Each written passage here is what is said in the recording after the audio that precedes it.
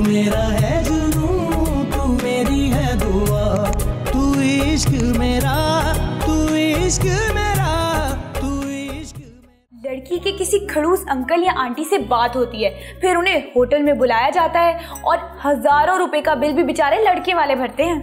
ओह God इसके बाद इसके बाद क्या? लड़की से कभी मुलाकात होती नहीं है क्योंकि हकीकत में ऐसी कोई लड़की होती नहीं है। ओह और वो अंकल और आंटी? वो वो भी सब नकली होते हैं और दोबारा कभी नहीं मिलते। तो इतने खर्चे के बाद फाइनली रिज़ल्ट होता क्या है? देखो दो रीजन होती हैं। पहला लड़की ने आपको पसंद तो कर लिया है लेकिन फिर उसे किसी ज़रूरी काम से अमेरिका जाना पड़ जाता है आपको वेट करना पड़ जाता है। और दूसरी रीजन के लड़की को आप सूट नहीं करते। और वो मैरिज ब्यूरो वाले, वो उन्हें क्या जवाब देते हैं? वही जो अंकल और आंटी कहते हैं।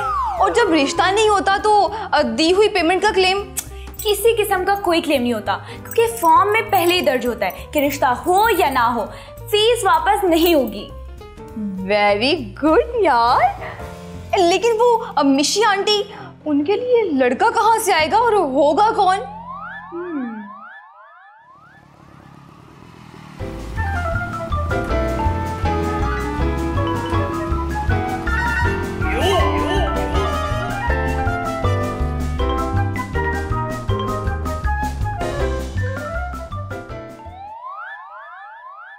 इस प्यार से मेरी तरफ़ मत देखो प्यार हो जाएगा। चुप चुप चुप चुप। खबरदार तो फ्लर्ट करने की कोशिश की तो। बड़ा हम दोनों से बुरा कोई नहीं होगा।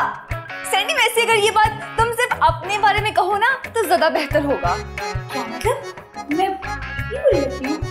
ऐसी वैसी सोच के देख लो तुमसे ना कोई निकली। पहले आप बताएँ आप कौन है? जी मैं हैबत खान। हैबत खान? वो कौन है? नाम से तो कोई पॉलिटिशियन या जागीरदार टाइप चीज़ लग रही है।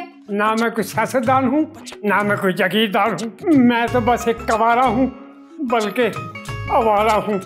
देखा जाए तो मैं बेचारा हूँ। वैसे बुरा ना मानेगा मुँह के हिसाब से तो आप चंगू मंगू या पिनोकियो लगते हैं। हैबत खान तो बिल्कुल भी नहीं लगते।